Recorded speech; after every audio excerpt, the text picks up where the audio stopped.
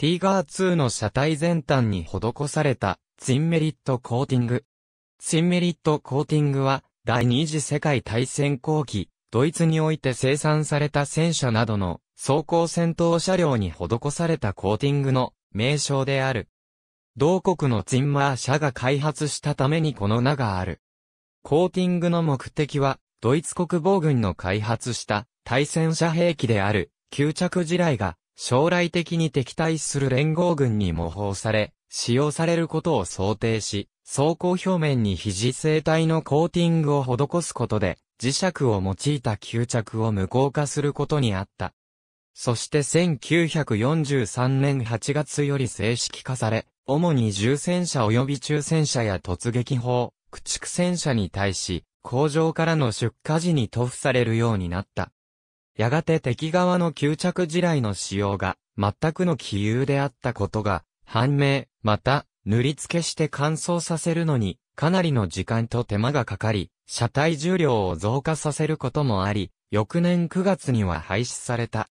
戦後、これを調査に来たイギリス陸軍の係官は単なる、磁気吸着地雷対策とは考えておらず、他に、どのような機能があるのかとしつこく質問してきたという。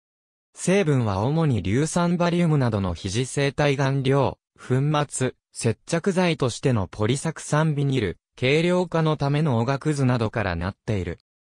極初期は単に塗りっぱなしであったが、後に被弾時に大幅に剥離するのを防止するために、フォークにより、5番状の溝が切られるようになり、さらには剥離防止に加えて、磁石よけに、十分な最大厚みを取りつつ軽量化するために、表面に、細かなギザギザのパターンが刻まれるようになった。